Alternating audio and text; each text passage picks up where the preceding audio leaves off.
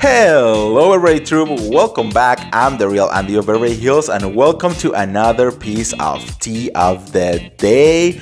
Girl, let's talk about Real Housewife of Atlanta because this housewife is going around claiming that this very famous producer stole from her like literally stole from her and we definitely definitely need to talk about it but before we get into it do not forget to subscribe and hit the notification bell if you want to support my channel now you can do it through the thank bottom right here and let's talk about this uh, mess Ay, Dios mío. No.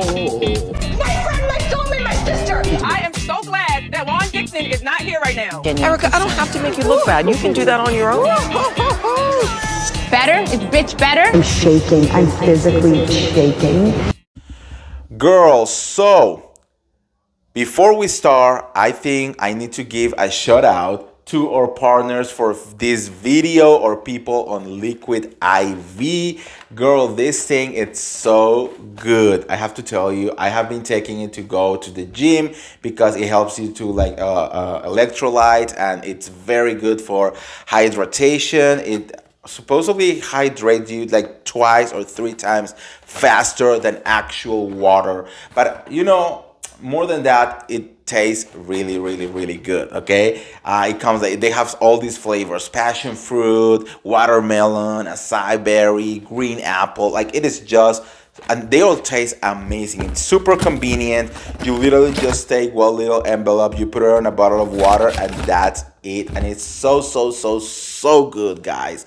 So if you are into this whole heat rotation, it, you don't have to take it just to the gym. You know, like these days has been so hot. You are sweating all the time. You are wasting, you know, uh, losing all these uh, electrolytes. So just take this, okay? And just like uh, a little like um, how you say that advice, girl, for the hangover. Mm-mm-mm. This shit is good, okay? So if you want to get it, just go to the description of this video and click on the link. You uh, you can use my discount code Scheidemann Empire, and you will get 15% off and free shipping. Mm-hmm. So get into it, all right? Okay, guys, let's talk about the mess. Let's talk about the mess because it is just too juicy. Miss Kandi Burruss was on an interview with the House of Aaron, which shout out to the House of Aaron. I love him. He has been here on uh, my show sometimes, and I, I think he's amazing. His channel is amazing, so go follow him and subscribe to his channel. So he did his interview with Kandi Burruss, and girl, money, money, money. She was talking. No, I'm kidding. Um, she spilled a lot of tea, but one thing that really stuck with me if that is that she is accusing Carlos King of stealing from her, and this is a big deal. If you are in the housewife war, you know who Carlos King is. Okay, he is basically a genius. He is the one responsible behind Atlanta. And Atlanta has been one of the most successful franchises of Real Housewives. You know, like at one point they were bringing 3 million people a week on ratings. So, and it was all thanks to him. He was also the one who did a lot of things in New Jersey. He literally crawled under the bed and gave Danielle Staub the book that provoked Teresa Giudice to flip the table. Like this guy knows how to do uh, reality TV. So he, it's usually he's very big on these Bravo streets. So to hear from Kandi that Carlos stole from her, wow, you know, like it's that means serious business okay? So apparently according to Kandi, um, she discovered that this guy was trying to sell to to steal her storyline not storyline so her life story you know with Xscape and the group and all of that. And she and he sell the story to a tv network to create a show without telling Kandi. Okay? Now Kandi got super emotional. She even she even cry or almost cry on this interview talking about this because she she says that she's such an open person that she's always open to help people to help new talent to she was like if you have just come to me and talk to me you know and tell me your ideas we have been doing something but how is possible that she just went around one day she had the same idea you know she was like hey what if we create a show or something around Xscape with my experiences and the and girls experiences you know we we have a lot.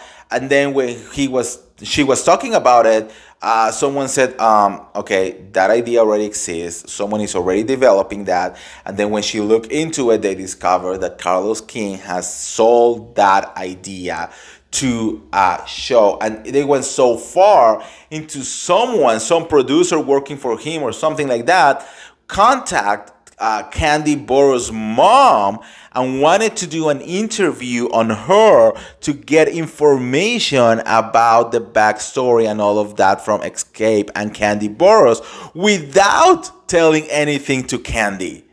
And then I'm thinking, OMG, this is shady. This is shady. Like, you are gonna be doing a show about someone's life or a movie or whatever it is and you're not gonna tell that person where you're supposed to be like this close and you were supposed to be like you know um, yeah like friends or something at some point i mean Kandi is feeling betrayed af and you know that Kandi is feeling betrayed and very upset when she started like not crying but like her voice is breaking you know because she's feeling the pain. And she's like how dare you do something like that? Uh, this is my story. This is my life. How dare you do this uh, and being so nasty and do all of these things. Girl I don't know. I mean, Carlos King, of course, if you're going to be a producer on reality TV, you have to be shady as well because that's how reality TV works. But like, I don't know. I think it's a little. I I think it's just too shady at this point. You know, I think he should just come forward and, and reach out to Kandi and explain the situation. I don't think there is another explanation to this, but you know, at least say sorry or something. I don't know what you guys think. What do you guys think about it? Uh, because Kandi, she Mm-mm. She checked out. She, I think, what I got from this is like she doesn't want anything to do with this guy ever again, and those are major words right there, right? So yeah, I don't know. So let me know what you guys think on the comments below about all of this. I'm gonna be leaving the link to uh, House of Aaron YouTube channel, so you can check it out if you want to. It's really good. He's very good, and um, yeah, check it out and let me know what you guys think on the comments. Okay, uh, was Carlos King being shady? Is uh, Kandi Burruss overreacting? I don't know. Let me know. Uh, like always, don't forget to like this video, share this video, subscribe to my YouTube channel, and I'll see you around. See ya. Bye.